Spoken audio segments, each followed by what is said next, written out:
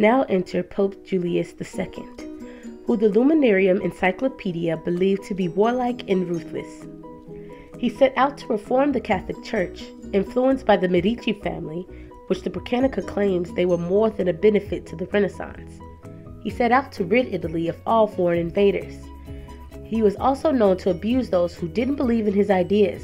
Though he was a brute, he was a man thoroughly interested in bettering the arts.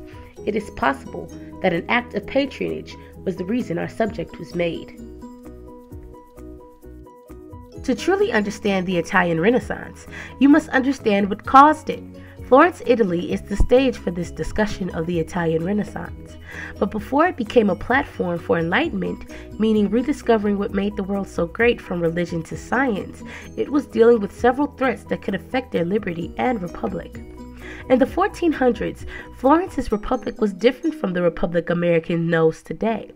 It was built to limit the power given to nobility and work to ensure that no group gained overall political control.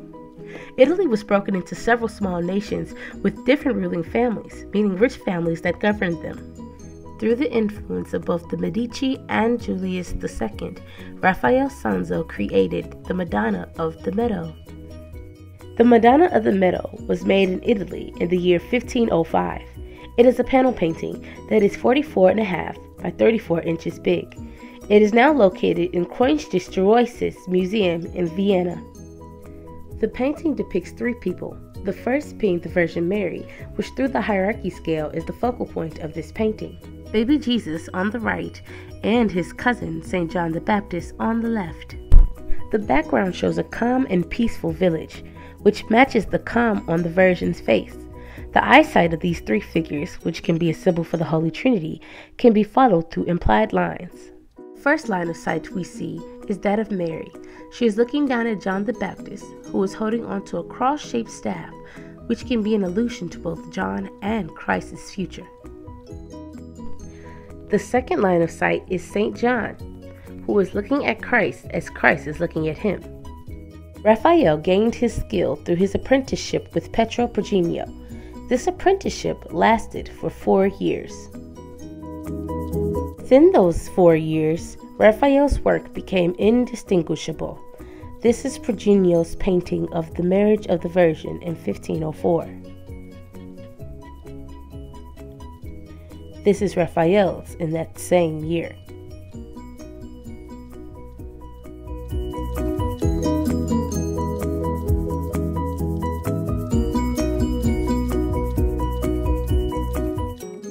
Later, Raphael moved to Florence to develop his own individuality.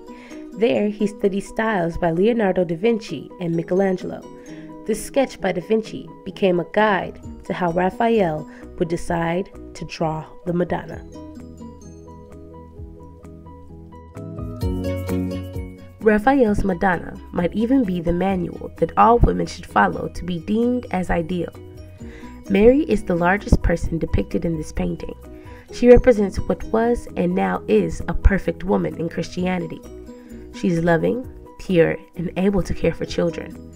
As a virgin, she bare the child of God, which shows her obedience and her submissiveness.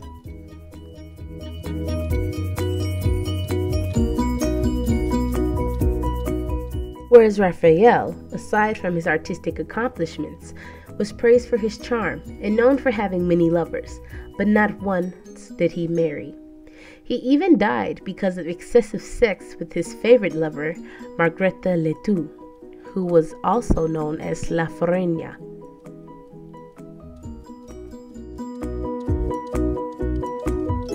If we compare the painting of the Virgin to the portrait of Margaret Letou, it is obvious that she lacks submissiveness because of her direct look towards the viewer and that she lacks piety, which Barbara Welter states is the core of women's virtue and the source of her strength. So, through the influence of the Virgin Mary, women gain the strength to withstand the man's attempt to turn her into a fallen woman and the curse of becoming an Eve. Eve is known for being the woman who caused the downfall of man who strayed away from her husband and from God. In this painting, she is naked, while having a serpent whisper in her ear. Although Eve is the mother of life, she is a destroyer of piety.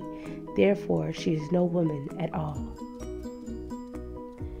For my artwork, I created a digital collage that questions both the ideals of womanhood and the need of piety. For this artwork, I used the painting Raphael created of his mistress and a painting of the Virgin Mary while holding the baby Jesus. In the foreground, you see Mary, whose face has been replaced by the mistress of Raphael holding the baby Jesus. The background or the skyline shows what others would call an ominous sky, but what I call a challenging sky, which shows my disdain for the ideal of piety makes a true woman, and what I believe the emotions of men of this time period would show if seeing such a collage. The background or the foreground of this photo is of a real village in Italy. I chose this photo because I felt as if it truly depicts the now, whereas this painting of the baby Jesus and the Mary depict the then. I also chose the combination of all three elements of the Mistress, the Virgin Mary, Jesus, and the realistic photograph to show how times have changed and that women who may have been deemed not women or fallen women of the past are now considered a woman of any kind, though they are still judged as if they are not. Piety is far less important in a wife as it is now. Although history and art depict that there are only two different kinds of women the Virgin Mary, or the ideal, or an Eve, the unwoman, I believe there are three the Virgin Mary, who, of course, Christian men believe are ideal, Eve, who are furthest from ideal, and mistress of Raphael, those who were raised to become Marys, but ultimately gave in to the temptation of men, or what I like to call human biology.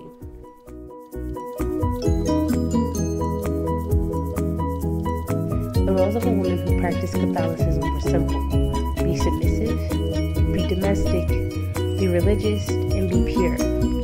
However, woman who still practices Catholicism is still the same. You are to have those ideals, but the idea of a woman has completely changed in this society.